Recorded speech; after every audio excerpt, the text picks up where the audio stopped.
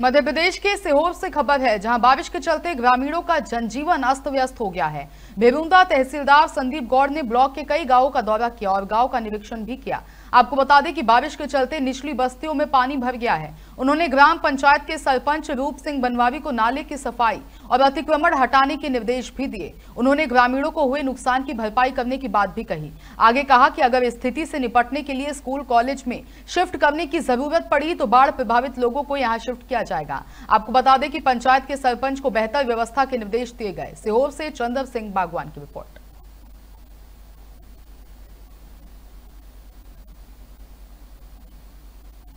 हाँ विगत कुछ घंटों से बारिश जो हुई है, उसके कारण लालपुर से जो नाला निकलता है, उसमें काफ़ी ज़्यादा पानी आ गया। कुछ पड़ोस के मकानों और दुकानों में पानी है बनने की सूचना प्राप्त हुई थी। तो पटवारी जी और हम लोग निरीक्षण के लिए आए थे। तो कुछ मकानों में पानी भरा है और दो मकानों में खाद्यान्न की क्षति हुई है। नाले में कुछ अतिक्रमण की सूचना तो प्राप्त हुई है।